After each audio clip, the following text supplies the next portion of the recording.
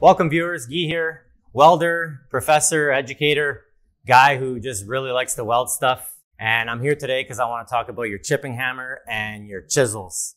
So there's nothing worse than having a rounded off chisel or chipping hammer and uh, you know, you can't do much with it. So what happens we usually take it over to the angle grinder or to the bench grinder and we sharpen this thing out maybe we put too much heat into it and we end up with a softer piece of material than, than what we started with, which ends up just dulling on it again, right? So I've got a, I've got a chipping hammer here that's really just good for nothing because it's, it's dull. It's all rounded off. I've got another chisel that's, that's dull and really good for nothing. And I got another piece of raw material. This is tool steel. So I want to show you how you can make your own chisel with, uh, you know, some simple tools that you have in the shop.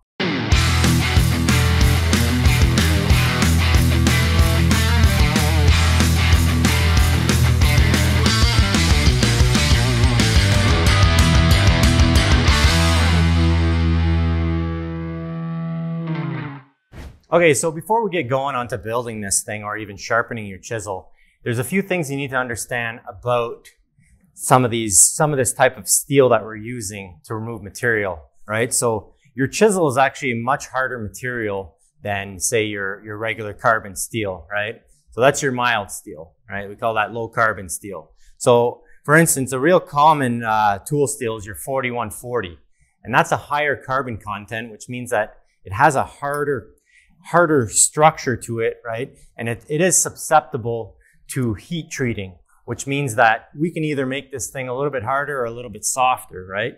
Through, uh, through something called quenching and tempering. And that's what we're going to do, right? So, but coming back to your chisel, um, the reason why I say, you know, you can't just go and slam this into the angle grinder, get it red hot, get a nice, uh, a nice end on it, and then go use it again. So it's what you're doing if you do that is you're actually softening up the material. So one thing we can do is reharden this and then soften it out just a little bit so that it's harder than the material, but it's not gonna crack either whenever we hit it. So in this video, I wanna show you a few demonstrations of what happens whenever we quench a material quickly and then go right to using it. Okay, I'm using two separate pieces of 5 8 round. This is 4140 tool steel and is considered chromoly, meaning it's an alloy of chrome and molybdenum. In the first example, I'm applying some brute force to my piece at room temperature. I have not heated it or anything. As expected, after repeated stress, I'm left with a dented piece of round bar. Let me demonstrate what happens to your material when it is heated to red hot and rapidly quenched in water. The rapid cooling of this material is going to make it very hard with less ductility. Basically, I've taken a perfect piece of engineered material and completely destroyed all of its wonderful mechanical properties in a matter of seconds. Now that it's cooled, let's go ahead and put some stress to the end of our round bar. I want to mention that safety comes first when performing this kind of test. I have a few layers of face protection and I'm well aware of my surroundings. After applying some brute force, you can see that the piece has shattered and completely failed. Now let's think about what happens when we leave a stray arc on a piece of material or if we don't follow proper welding procedures. A failed weld, you're right. Okay, enough with the metallurgy lesson, let's move on to building a chisel.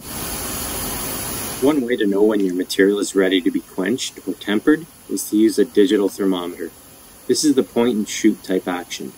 For this application, we want to elevate the temperature to above 723 C or 1330 Fahrenheit for quenching. This temperature is known as your lower critical temperature or transition temperature. This is where your material begins to lose its magnetism. After this, we then heat it again below 723 C or 1330 Fahrenheit to temper. This is where things like annealing, normalizing, and stress relieving take place. These are all different forms of heat treatment. Something less expensive like a temp stick can be used. You would apply the stick to the material. When it melts, you are at the required temperature. Temp sticks are often used when preheating and post-heating materials. Okay, let's have a look at our color chart. This chart can be used to identify temperature ranges for heat treating carbon steel. When steel is heated, it will naturally go through a temperature change. This change will reflect in different colors. So those pretty colors you see are not the different alloys. It's telling you something important. For this application, we want our material to be red for quenching and a tan to blue range for tempering. Okay, let's have a look. In this example, I'm going to depend more on the colors from the steel for the tempering process. Here you can see me gently adding just enough heat to have my steel turn purple about halfway up the piece. I then watch for the tan or yellow color to grow into the end.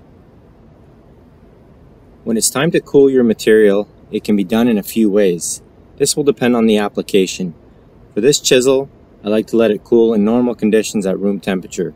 Or, if I want something a little softer, I can have it cool slowly in the oven or even on top of the oven.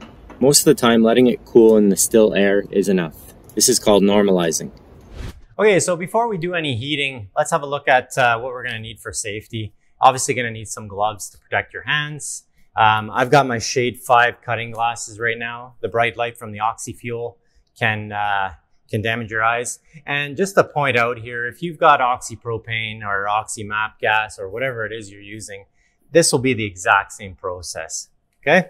So the next thing you're going to need is you're going to need yourself a pair of locking pliers or some form of channel locks, vice grips, uh, whatever the case may be to hold your piece. All right. And beside me, I've got two options here. I'm pretty lucky. I've got the option of using the cutting attachment on my combination torch or my small little, cute little rosebud. And I think that's what I'm probably going to use. This is fairly thin. Um, you know, we're looking at about uh, some half inch thick round here. And um, this will definitely be enough. Okay, so now that we've got our torch hooked up, it's time to uh, set our regulators. So this may look a little bit different to you or not. I'm just not running on two bottles, a bottle of oxygen, a bottle of acetylene. I'm running on a manifold system. That means that the gases are being delivered. They're being piped in from another area. I don't have to worry about opening my oxygen bottle in full, you know, and my acetylene a quarter to a half turn. I've got two levers that I can open up right now, right? And that's going to start delivering gas to my regulators. All right. So I've got T handles on this. I'm going to set my acetylene to about 5 psi. And then I'm going to set my oxygen to about 20. Now, a couple things to recognize here on, uh, on our system. We've got check valves and flashback arresters, right? Check valves allow the gases to be uh, flowing in one direction only. And then our flashback arrestor is another safety device, whereas if the gases do decide to ever kind of come back into the lines, these little devices here are going to extinguish that, uh, that flame. I'm using some 4041 tool steel. So this is hardenable carbon steel. This means that it's going to react to the heat whenever I, whenever I apply it, whenever I quench it, whenever I put it in water rapidly. Okay. So you can't do this with just regular carbon steel. So just mild steel, that's not going to happen. You need to have some form of tool steel, some, high, some form of medium to uh, high carbon steel for this. Okay, so I've got my rosebud set up. Let's, uh, let's go ahead and light our torch. And then um, I'm going to have my torch here and I'm going to go ahead with my 20 ounce hammer and I'm going to start shaping the end of my chisel. I was having difficulty seeing through my shade 5s, which was a bit of a safety concern. I decided to change to a clear lens. For shaping, I'm hammering down and away from me at the same time. This will give me the tapered look to a chisel that I want.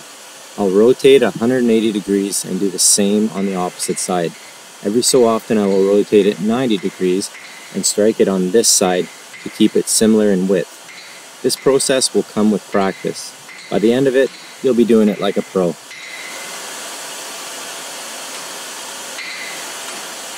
Okay, now that we have the desired shape, it's time to cool it and finish it on the grinder.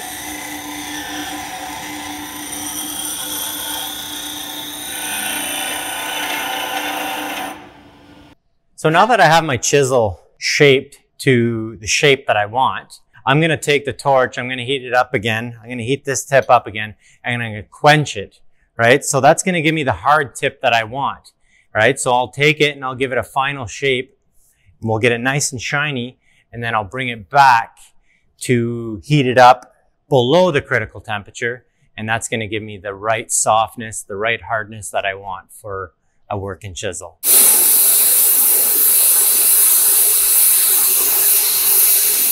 Turn off our oxygen and our acetylene. For this application, a straight water quench is used. I chose water because it is inexpensive and available. It's important to note that not all materials will behave the same when quenching. A water quench is the most rapid and aggressive quench, and in some complex materials can be susceptible to cracking. Other quenching medias can be used such as salt brine, oil, polymer liquids, or even air quench, which may be less prone to cracking.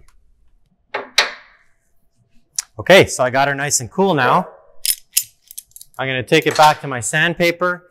I'm gonna take it to my buffing pad. I'm gonna finish this off. I'm gonna get it nice and shiny so I can bring it back and anneal it. Now that we have our homemade chisel, let's move on to our chipping hammer and store-bought chisel. This process entails the same steps as the chisel build, except for the shaping portion. The first step is to remove any paint or coating on the hammer.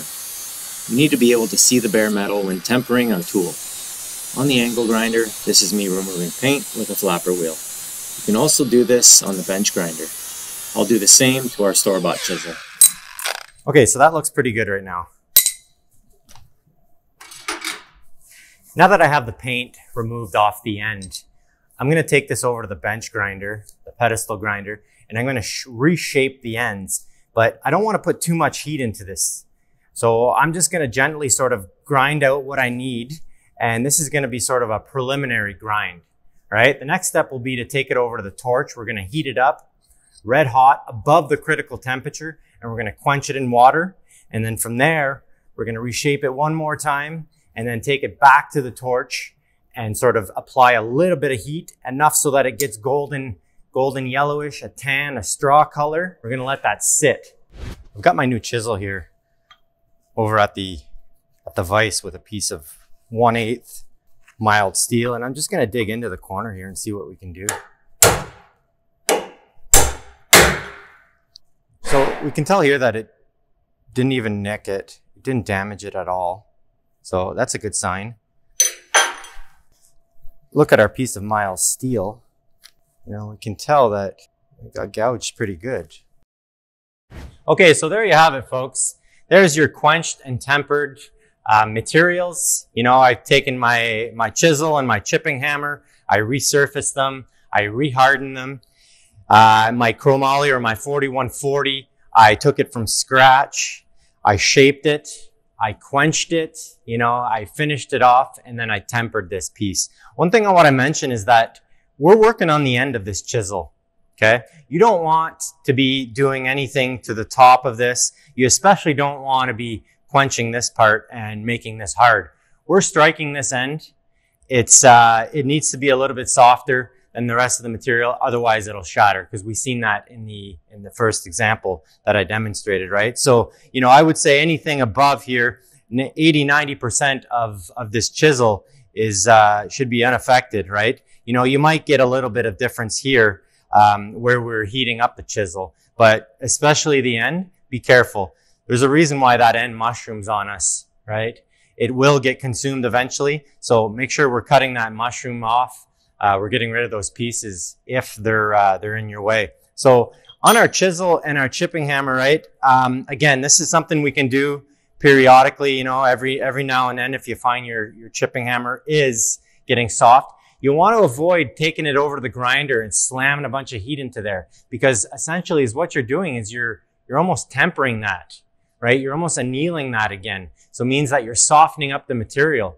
So if you're to, if you're to resurface this piece, you know, keep some water close by, maybe some oil, and you want to just grind softly and not put too much heat into it so you don't affect it. Okay. So I hope you enjoyed this video, everybody. That's your quenching and tempering. Uh, keep your lenses clean and uh, be safe out there.